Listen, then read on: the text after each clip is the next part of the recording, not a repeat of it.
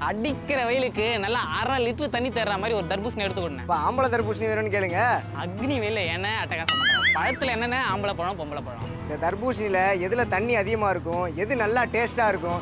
எது பழுத்து இருக்கு எது பழுக்கலை அப்படிங்கிறத வெளியே பார்த்து எப்படி கண்டுபிடிக்கிறது இப்படிங்கிற விஷயத்தெல்லாம் சொல்கிறேன் கேட்டு தெரிஞ்சுக்கங்க. இந்த சம்மர் சீசன் உங்களுக்கு ரொம்ப ஹெல்ப்ஃபுல்லாக இருக்கும். இப்பதானே பிரைட்டா ஆரம்பிக்கிறீங்க? சொல்லுங்க சொல்லுங்க. இப்போ நம்ம கடைக்கு போய் தர்பூசணி வாங்கும் போல தர்பூசணி வந்து நிலத்துல எந்த சைடை பார்த்து வளர்ந்துருக்கோ அந்த சைடை திருப்பி பார்க்கும் போல நல்ல மஞ்சள் கலரில் இருந்துருச்சுன்னா அது பழுத்திருக்க பழம். இதே மஞ்சள் கலரோட சேர்ந்து கொஞ்சம் ஆரஞ்சும் கலந்துருந்துச்சுன்னா அப்பவும் அது பழுத்திருக்க பழம்னு அர்த்தம். இதே அது வந்து இப்படி மஞ்சள் கலர்லாம் இல்லாமல் இப்படி வெறும் வெள்ளை கலர்ல இருந்துச்சுன்னா அது பழுக்காத பழம். வெட்டி பார்த்ததுக்கு அப்புறம் தான் நமக்கு தெரியும் அது உள்ள பழுத்திருக்கவும் பழுத்திருக்காது வெறும் காயாவும் இருக்கும். வாங்கிட்டு போயிட்டு நம்ம ஏமாந்து உட்காந்துருப்போம் சரிண்ணே இந்த பழம்லாம் பார்க்க சொல்ல நல்லா மஞ்சள் மஞ்சள் பழுத்த மாதிரி தான் இருக்கு. ஆனா பூச்சிலாம் அடிச்சு போய் இந்த மாதிரி வேஸ்டா இருக்கு இதெல்லாம் யாரு வாங்க போறா? எப்பா அது வந்து பூச்சி கடிச்சது இல்லப்பா அது பேர் வலைப்பின்னல் அப்படின்னு சொல்லுவாங்க. இப்போ நிறைய வண்டா இருக்கட்டும் பூச்சியா இருக்கட்டும் தேனா இருக்கட்டும் இந்த தர்பூசணி பூவா இருக்கும் போல இந்த தர்பூசணி பூல தான் அடிக்கடி வந்து தேன் எடுத்துக்கிட்டே இருக்குமா? இப்படி அடிக்கடி தேன் எடுக்கிறனால மகர்ந்த செயற்கை வந்து இதில் அடிக்கடி நடக்கிறனால அந்த பூவில் இருக்க தசைகளில் சின்ன சின்ன தழும்புகள்லாம் ஏற்படுமா? அந்த பூ அதுக்கப்புறம் காயாகி கனியாகி இப்படி பழமானதுக்கப்புறமும் அந்த தழும்பு இது கூடவே வரனால நிறைய பேர் உங்களை மாதிரி தான் அது வந்து பூச்சி அடிச்சிருக்கு அந்த காய் வாங்கினா நல்லா இருக்காதுன்னு நினைப்பாங்க. ஆனால் மகர்ந்த செயற்கை அதிகமாக நடந்தனால இந்த மாதிரி பூச்சி அடித்த பழங்கள்ல டேஸ்ட் அருமையாக இருக்கும். அதனால் இப்படிலாம் நீங்கள் பார்த்துட்டு அதை வேஸ்ட்டுன்னு நினைக்காதீங்க. வாங்கி சாப்பிட்டு பாருங்கள் அவ்வளோ அருமையாக இருக்கும். சரிண்ணே சரிண்ணே. நல்லா பழுத்த பழமா எடுத்துட்டீங்க. பேச்சு வாக்கில் உள்ள போட்டு கலந்துட்டு போறீங்க. அப்படியே கையில கொடுங்க நான் வாங்கிக்கிறேன். உனக்கு இல்லாமையா? இந்தாப்பா நல்லா வாங்கி சாப்பிடு. இதே மாதிரி பழத்தை வாங்கினதுக்கப்புறம் திருப்பி பார்த்துட்டு இந்த இடம் இதே மாதிரி நல்லா காஞ்சி இருந்துச்சுன்னா அது நல்லா பழுத்து இருக்குன்னு அர்த்தம். காயாம கொஞ்சம் பச்சை கலரில் அந்த பழத்தோட காம்பு இருந்துச்சுன்னா அது அரைக்காயா பறிச்சுட்டு வந்திருக்காங்க. அப்படின்னு கொஞ்ச நாள் வச்சு அது பழுக்கிற வரைக்கும் வெயிட் பண்ணணும். இந்த மாதிரி நிறைய விஷயங்கள் நீங்கள் பழம் வாங்கும் போல பார்த்து வாங்குனீங்கன்னா வாங்கிட்டு போகிறவங்களுக்கு நல்ல சாட்டிஸ்ஃபேக்ஷனாக இருக்கும். வீட்டில் போய் வச்சு சாப்பிட்றதுக்கு அருமையாக இருக்கும்ல?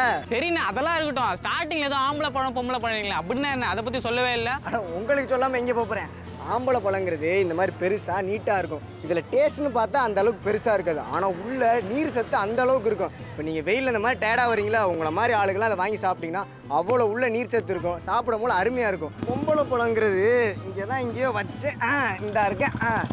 இந்த மாதிரி வட்டமாக சின்ன சைஸில் இருக்கிறத பொம்பளை பழம்னு சொல்லுவோம். இதில் வந்து டேஸ்ட் அருமையாக இருக்கும். ஆனால் நீர் சத்து கொஞ்சம் கம்மியாக இருக்கும். இது உங்களுக்கு டேஸ்ட் வேணும் அப்படின்னா இந்த பொம்பளை பழத்தை நீங்கள் வாங்கி சாப்பிடலாம். இல்லை எனக்கு ரொம்ப டயர்டாக இருக்குப்பா.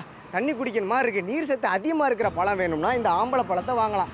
இன்னும் சில பழம்லாம் எப்படி இருக்கும்னா ஸ்டாண்டர்டான ஒரு சைஸ்லேயே இருக்கும். அப்போ நமக்கு தெரியுமில்ல இப்போ இந்த பழத்தை பார்க்குறோம் இது ஒரு ரெண்டு கிலோ இருந்தால் நல்லா இருக்கும்னு உங்களுக்கு தோணும். சைஸுக்கேற்ற வெயிட்டில் அந்த பழத்தை பார்த்து வாங்குனீங்கன்னா அந்த பழமும் நல்லா இருக்கும் சுவையும் அருமையாக இருக்கும். பழம் எந்த அளவுக்கு பெருசா இருக்கோ விஷயம் அந்த அளவுக்கு பெருசா இருக்குல்ல. எந்த அளவுக்கு பெருசாக இருக்கோ அந்த அளவுக்கு பிரச்சனையும் இருக்குது பிரச்சனையா? அப்படி என்ன பிரச்சனை? சில பேர் என்ன பண்ணுறாங்கன்னா பழம் சின்ன டைம்லேயே பெருசாக வளர்ந்துடும் குறுகிய காலத்திலே ரொம்ப பெருசாக வளரணும்னா ஹார்மோன் இன்ஜெக்ஷன் அந்த மாதிரி சில விஷயங்கள்லாம் அந்த பழத்தில் பண்ணுவாங்க.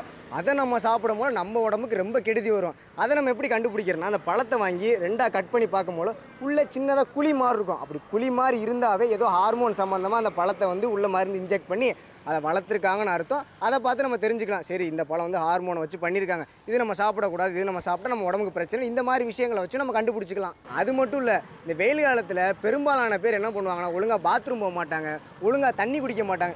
இதனாலே அவங்களுக்கு நிறைய சிறுநீரக பிரச்சனை வரும். அந்த மாதிரி ஆளுங்களாம் இந்த தர்பூசணியை சாப்பிட்டா சிறுநீரக பிரச்சனையே வராது.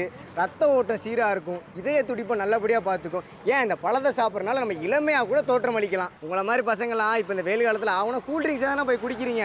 அப்படி கூல்ட்ரிங்க்ஸை குடிக்காம நொங்கு சாப்பிடுங்க இந்த மாதிரி தர்பூசணி சாப்பிடுங்க இல்லையா இளநி குடிங்க. இப்படி குடிக்கிறனால உடம்புக்கு வந்து ஆரோக்கியம் தானே? சரிங்க மருத்துவரை போது நிறுத்துங்க. நீங்கள் விட்டா பேசிக்கிட்டே இருப்பீங்க. இந்த ரெண்டு நிறுத்துலையும் ரெண்டு கொடுங்க. எதுக்கு நமக்கு பிரச்சனை? சரி கொடுத்துருவோம். பழம் நீ அப்பா ஞானப்பழம் நீ அப்பா.